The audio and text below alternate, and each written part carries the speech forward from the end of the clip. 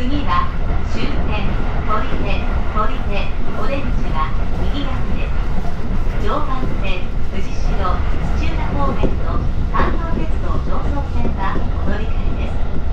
今日も JR 東日本をご利用くださいましてありがとうございました The next station is Terminal JL32 The doors on the right side will open